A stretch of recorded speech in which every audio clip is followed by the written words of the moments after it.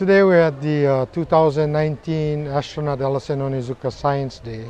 It's the 19th annual Science Day that we've held here at the university uh, for students to expose them to, uh, to science, math, uh, robotics. We had a speaker from uh, uh, Jet Propulsion Laboratory um, in California. she's a Hilo girl, Asia Tyler, formerly um, from Hilo and uh, went on and she's working on a, on a lunar module that's uh, going to be launched in 2020 and um, we thought that was inspiring um, because we couldn't get an astronaut out this year because of the, the shutdown, government shutdown. So we were fortunate to get her as a speaker.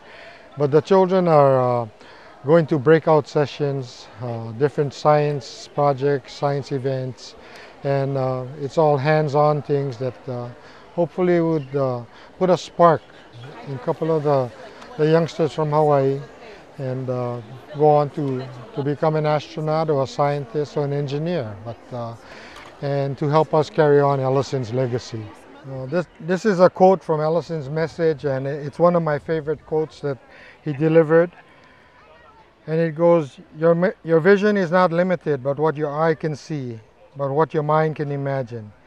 Many things that you take for granted were considered unrealistic dreams by previous generations. If you accept these past accomplishments as commonplace, then think of the new horizons that you can explore.